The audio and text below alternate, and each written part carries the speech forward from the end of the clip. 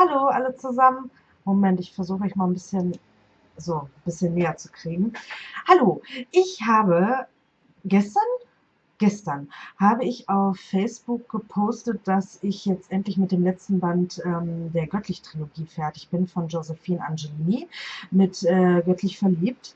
Und ähm, ja, ich möchte eigentlich ungern eine richtige Rezi machen, ähm, weil ich ja äh, bisher noch kein Buch vorgestellt habe und äh, noch kein Buch rezensiert habe.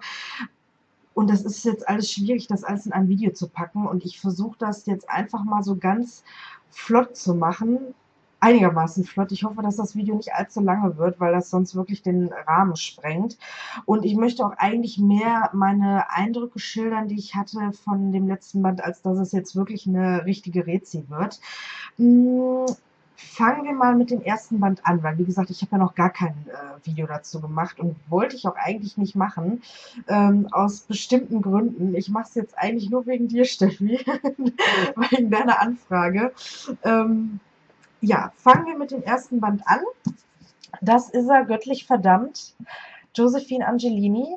Und ähm, ja, ich muss sagen, die ganze Reihe, also nicht nur der erste Band, klar, der erste Band hat mich natürlich sehr gefesselt, ähm, so dass ich natürlich die anderen auch weiterlesen wollte. Und die ganze Reihe finde ich insgesamt auch sehr gut. Fangen wir erstmal an zu der Geschichte für die, die es jetzt nicht kennen. Ich will jetzt eigentlich gar nicht so viel erzählen und ich will auch nachher auch aus dem dritten Buch kein ähm, äh, euch keine Leseprobe irgendwie geben oder sowas. Deswegen lese ich einfach mal die Klappentexte vor, weil die treffen es eigentlich schon ziemlich genau. Und äh, so komme ich auch nicht irgendwie großartig in die Versuchung, jetzt nachher groß ja, alles zu erzählen und zu erklären und so weiter und so fort. Wie gesagt, für die, die es jetzt nicht kennen, äh, ich muss natürlich bei den ersten beiden Büchern jetzt äh, spoilern, ist klar. Ähm, auch bei dem dritten werde ich leider spoilern, weil ich da, wie gesagt, eher mehr meine Eindrücke schildern werde. Ich werde aber natürlich versuchen, euch jetzt nicht ähm, das Ende oder so zu verraten. Ähm, Fange ich einfach mal an. Die 16-jährige Helen lebt bei ihrem Vater auf Nantucket. Auf der Insel ist nicht viel los und in den Sommerferien versinkt Helen in Langeweile.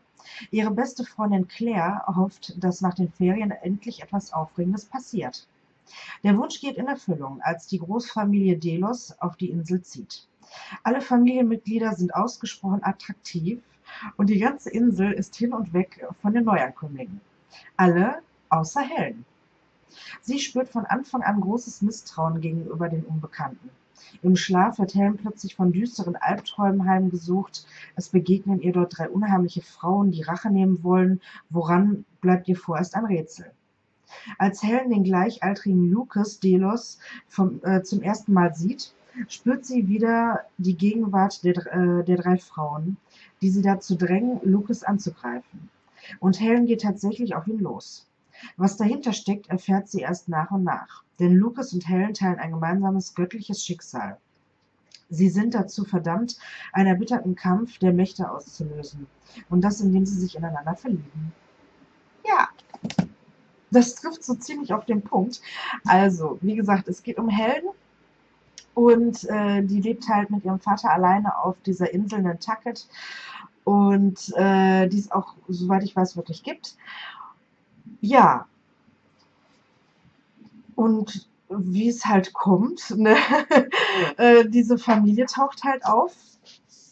Und äh, diesen Lucas ist halt der erste, glaube ich, den sie sieht von der Familie und hat nichts mehr als den Drang, ihn töten zu wollen und springt ihm regelrecht im Schulflur an, äh, an die Gurgel.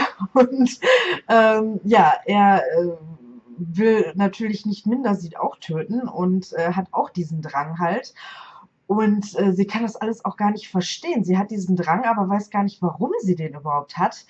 Und ähm, ja, er fragt halt sie, äh, also er schafft es, das abzuwenden und fragt sie halt, aus welchem Haus bist du?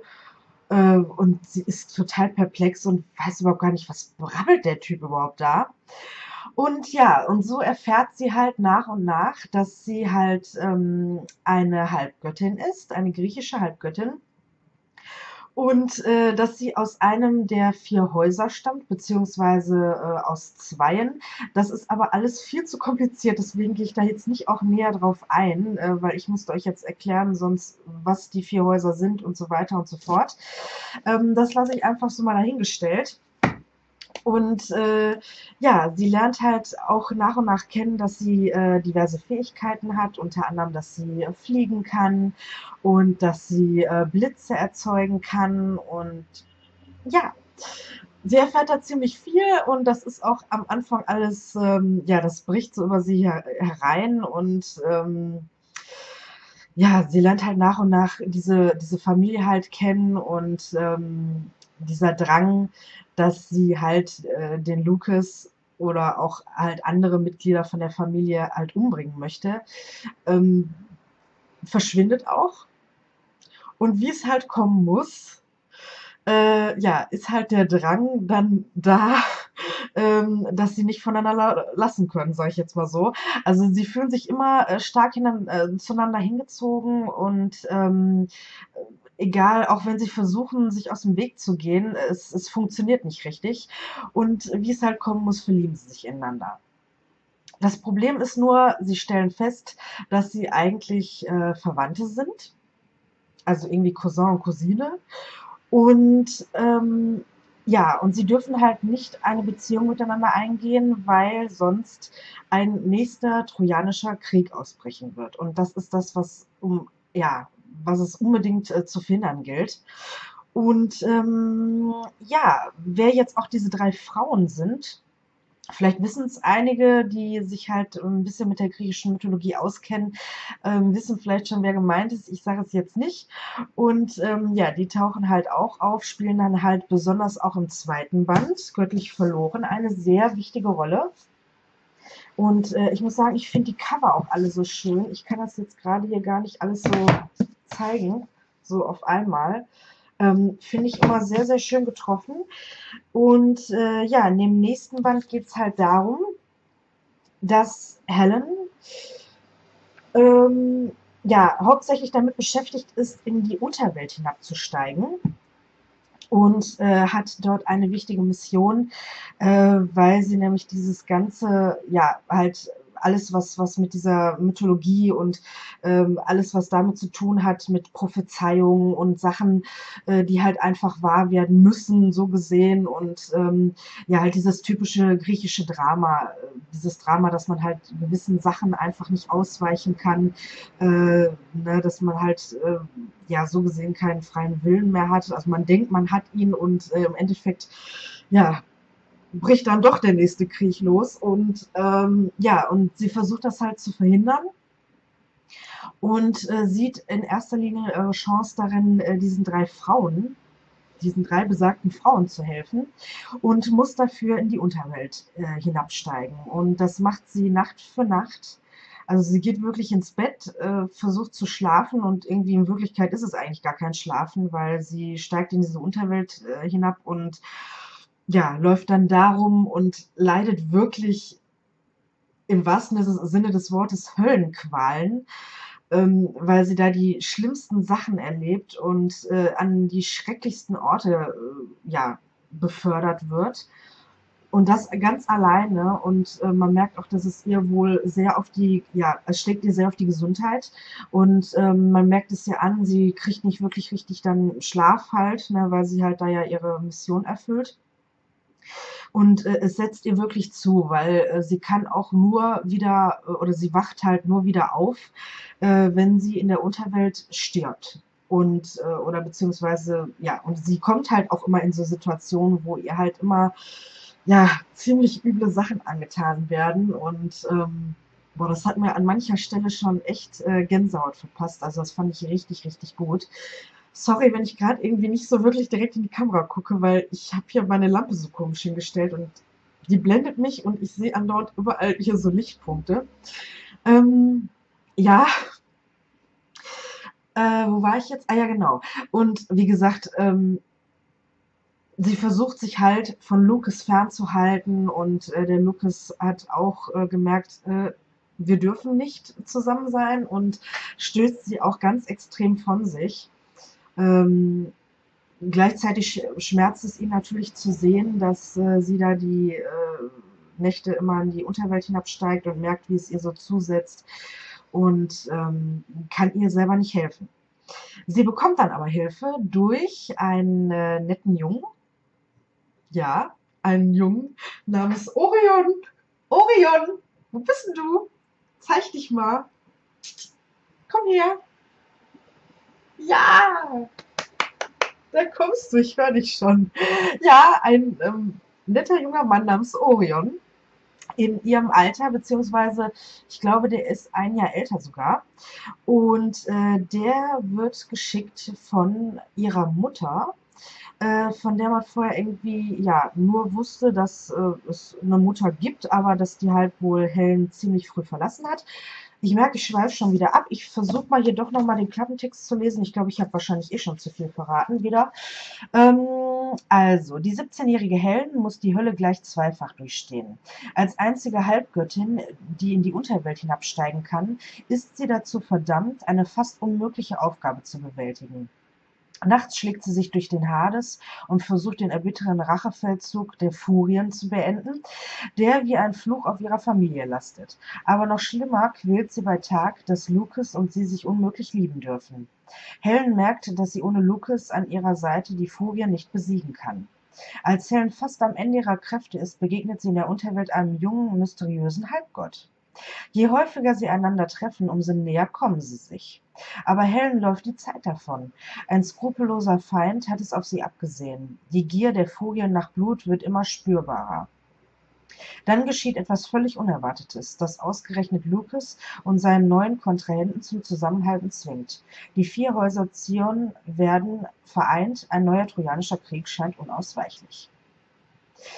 Ja, das ist natürlich jetzt viel Information. Also wie gesagt, diese Damen, das sind die Furien. Jetzt habt ihr es rausgefunden. Ha. Ähm, ja, und wie gesagt, ich bin selber sehr hin und her gerissen, weil ich mag sowohl Lucas, ich mag aber auch unheimlich gerne Orion und ich kann mich nicht wirklich zwischen beiden entscheiden. Ja, ähm, also ich finde beide sehr, sehr schnucklig. Ich habe gerade dieses zweite Buch, habe ich wirklich sehr verschlungen. Und ähm, ich fand den, ich glaube, ja, den zweiten Band, obwohl den dritten finde ich jetzt auch ganz gut, aber den zweiten fand ich deswegen so toll, weil man merkt halt, ähm, wie gesagt, dass Helen tut es so weh, dass die Sache mit Lucas, dass sie nicht mit ihm zusammen sein darf. Und dann kommt Orion an und normalerweise ist man ja so ne, drauf, so von wegen, ne, nur Lucas und äh, neuer Typ, geh, geh weg, weg, weg, nee, wollen wir nicht, ne? Ähm, kennt man ja noch teilweise, obwohl, ja gut, nee, das Beispiel jetzt mit, ähm, das ich jetzt hier anbringen wollte mit äh, Bella Edward und ähm, äh, Jacob passt jetzt irgendwie so gar nicht, weil ich glaube, mittlerweile ist die Jacob-Fraktion größer als die Edward-Fraktion. Aber ähm, ja, wie gesagt, es taucht halt, wie gesagt, ein neuer Typ auf und äh, der ist einfach so erfrischend und gut aussehend und äh, so kämpferisch und so stark und ach, und er ist so toll und er ist auch noch so lustig, er ist so humorvoll. Ich liebe Orion. Er macht tolle Witze und ich habe sehr oft lachen müssen, seinetwegen. Und ähm, ja, ich weiß auch nicht, ich finde ihn einfach klasse. So, wie gesagt, das ist deren Aufgabe und ähm, ja, das Buch besteht eigentlich nur daraus, dass sie halt, wie gesagt, in der Unterwelt ihre Zeit verrichten und ähm, ja, so, nächster Band. Ich lese wieder den Klappentext vor. Helen, Lucas und Orion müssen verhindern, dass die sterbliche Welt in die Hände der olympischen Götter fällt. Denn das Verlangen der Götter nach einem neuen trojanischen Krieg wird immer größer, während Helen von fürchterlichen Visionen geplagt wird. Aber auch Helens Kräfte werden zusehends stärker und unberechenbarer. Zugleich wächst Helens Macht, aber auch das Misstrauen ihrer Freunde. Schließlich offenbart das Orakel, dass ein gefährlicher Tyrann unter ihnen lauert, der einen Keil zwischen sie treiben will. Alle Zeichen deuten auf Orion. Doch Helen ist immer noch zwischen ihm und Lucas hin und her gerissen und sie weiß nicht, wem von beiden sie vertrauen kann. Als dann die olympischen Götter immer bedrohlicher werden und es ihnen gelingt, die Halbgötter hinterlistig gegeneinander auszuspielen, steht plötzlich das Leben von Lucas auf Messerschneide. Jetzt scheint der nächste Trojanische Krieg unvermeidbar und Helen wird gezwungen, eine schreckliche Entscheidung zu treffen. Dazu möchte ich eigentlich nicht so viel verraten. Also ähm, es ist so, dass Helen halt immer mehr Kräfte kriegt. Also äh, hier von wegen nur fliegen und Blitze erzeugen, das ist noch längst nicht alles. Äh, und halt die Fähigkeit auch zum Beispiel einfach so in die Unterwelt hinabzusteigen. Äh, das ist zum Beispiel bei Orion nicht so leicht möglich. Der ähm, braucht da was Bestimmtes, äh, dass er überhaupt in die Unterwelt kommen kann. Und äh, wie gesagt, das ist halt, äh, ja, nicht für jeden bestimmt. Und Helen kann das einfach so machen, so wie sie möchte. Und ja, und das häuft sich alles noch mehr. Also sie bekommt da noch einige mehr Fähigkeiten dazu. Unter anderem auch deswegen, weil sie am, am Ende von Band 2 äh, Blutsbrüderschaft schließt mit Orion und ähm, Lucas, unfreiwillig leider, muss man sagen, aber dadurch ähm, bekommt sie auch noch Fähigkeiten, von Lucas und auch noch andere Fähigkeiten von Orion, die ich jetzt hier nicht weiter beschreiben möchte. Es ist einfach wirklich sehr, sehr viel, sehr, sehr komplex und ähm, ja, das ist auch so ein bisschen meine Schwierigkeit, die ich mit der ganzen Buchreihe hatte. Also alle Bücher zusammen fand ich sehr, sehr toll und ich hätte auch wirklich noch viel, viel mehr davon gelesen, ähm, weil auch noch zusätzlich viele andere tolle Charaktere vorkommen. Ich muss leider zugeben, dass ich schon Schwierigkeiten hatte, ähm, die Delos-Familie, um dieses, die es ja eigentlich neben Helen äh, hauptsächlich ja geht, äh, schon auseinanderzuhalten, weil ähm, Lucas hat eine Schwester, Cassandra, die halt das Orakel ist. Ähm, und äh, in der Familie leben halt dann noch Vater, Mutter äh, und halt noch diverse Cousins und Cousinen.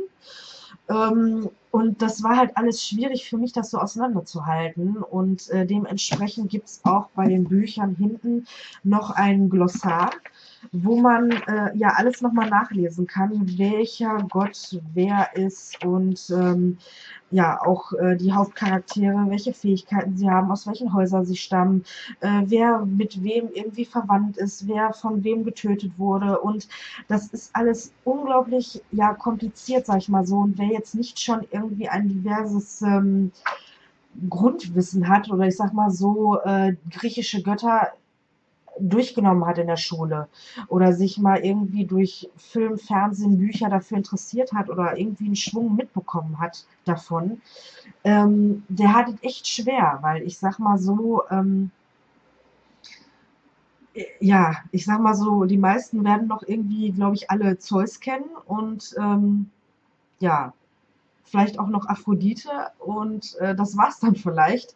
Aber äh, es gibt ja noch so, so, so, so, so viel mehr. Und das war einfach alles, selbst für mich, die äh, das Thema in der Schule hatte, die sich persönlich dafür interessiert.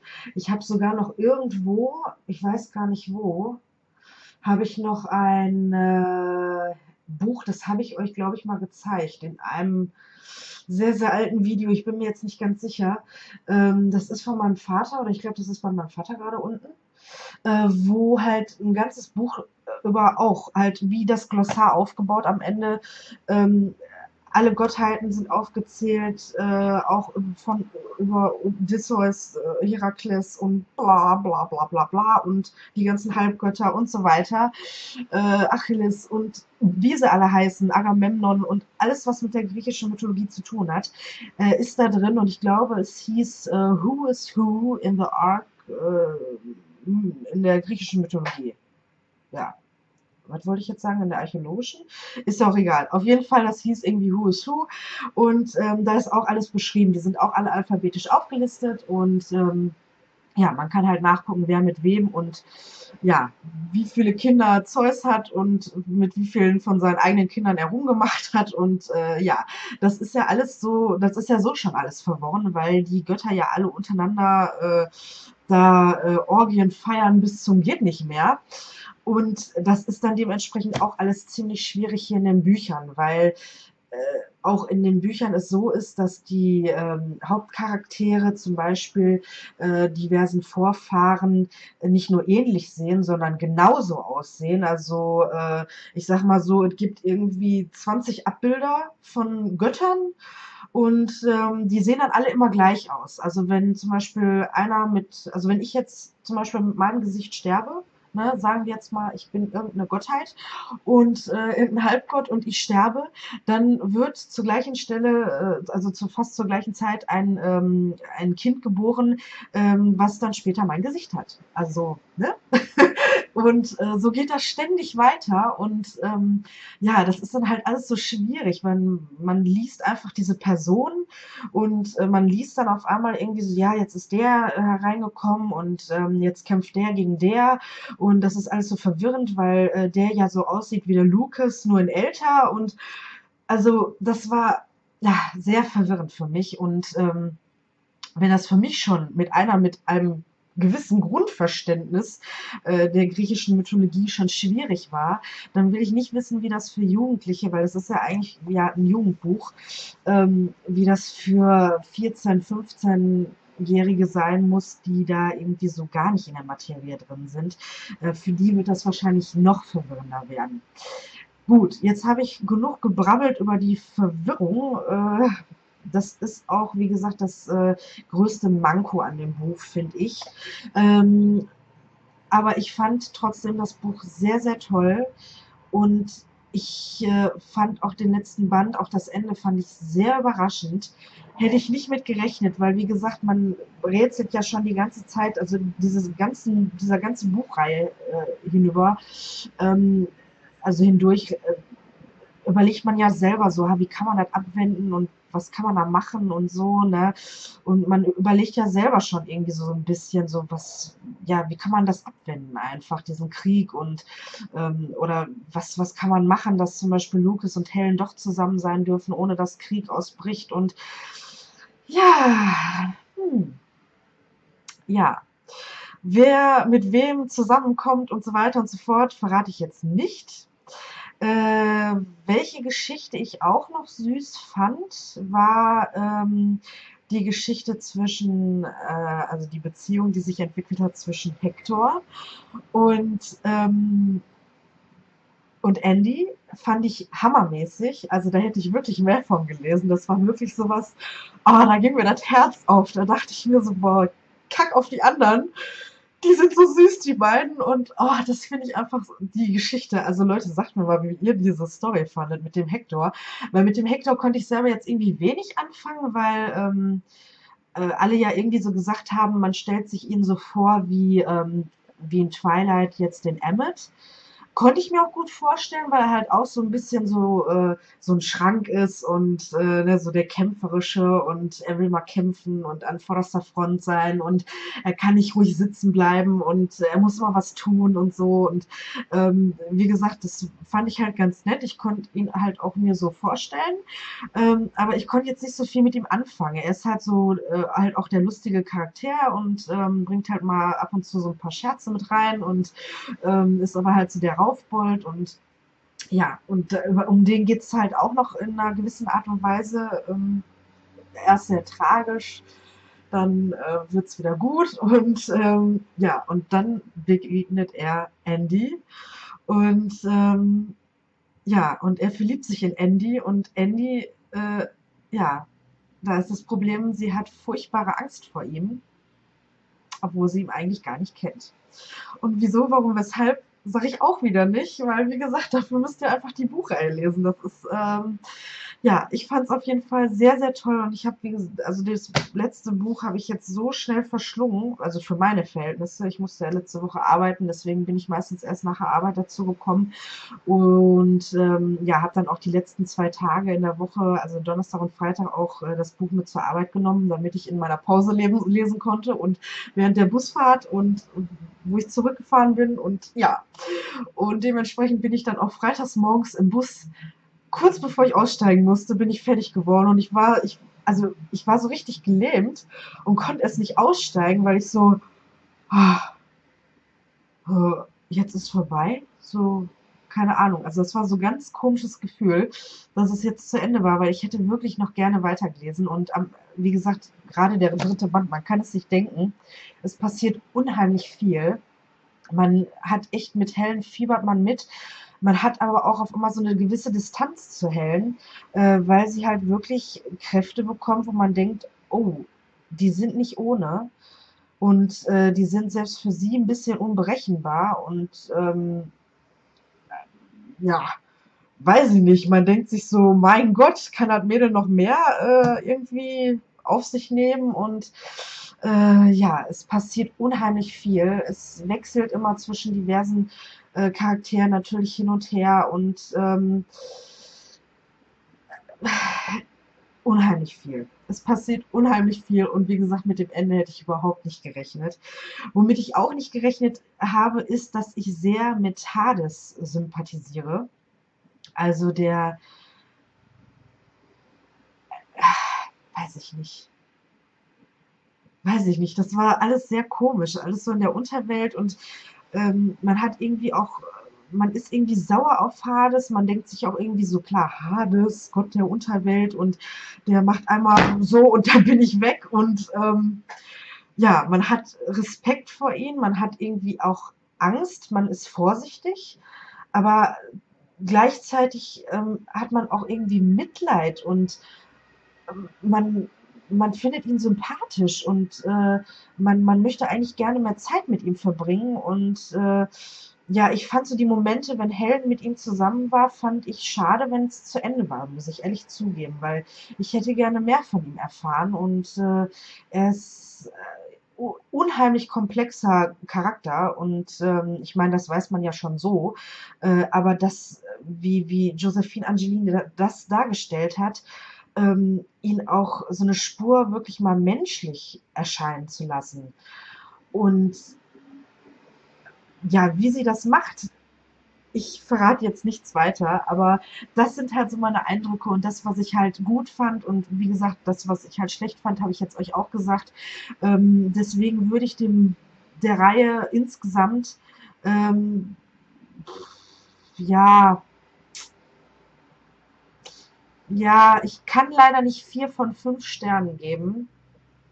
Ich würde 3,5 geben also ich gebe mal wirklich gute, sehr, sehr gute 3,5 von 5 Sternen. Ja. Weil es ist so ein paar Sachen, ich weiß jetzt gar nicht, ist es, es ist doch, glaube ich, das Erstlingswerk von Josephine Angelini, oder?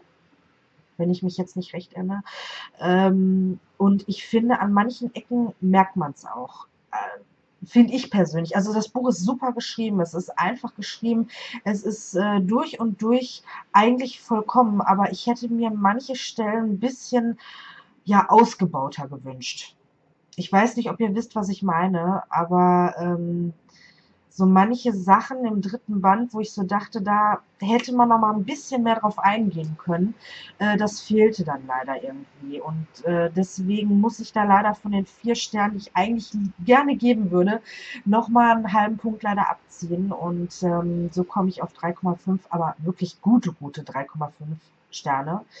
Und ähm, ja, wenn ihr noch Fragen habt oder wie gesagt, falls ich jetzt mit irgendwas durcheinander gekommen bin, äh, seht es mir nach. wie gesagt, das war jetzt wirklich eine spontane äh, Interpretation von, den, äh, von der ganzen Reihe. Und das jetzt innerhalb von einer halben Stunde. Ähm, ja, ich finde eigentlich, dass ich es ganz gut getimt habe. Und ich werde jetzt auch nicht weiter reden, weil sonst äh, verstricke ich mich nur weiter und äh, laber einfach zu viel weiter. Äh, falls ihr irgendwelche Fragen habt oder ähm, ja, schreibt mir einfach in die Kommentare oder schreibt mir rein. Ähm, ob ihr es schon gelesen habt, wie ihr die Reihe findet, das würde mich sehr interessieren und ob ihr den dritten Band jetzt auch schon alle gelesen habt. Er ist ja noch nicht lange draußen, aber ich musste ihn mir direkt am Erscheinungstag musste ich ihn holen und habe auch direkt angefangen und ähm, ja, wie gesagt, ich hätte gern mehr gelesen. Aber das war's. Okay, ihr Süßen, dann wünsche ich euch jetzt noch ein schönes Wochenende und macht's gut. Ciao.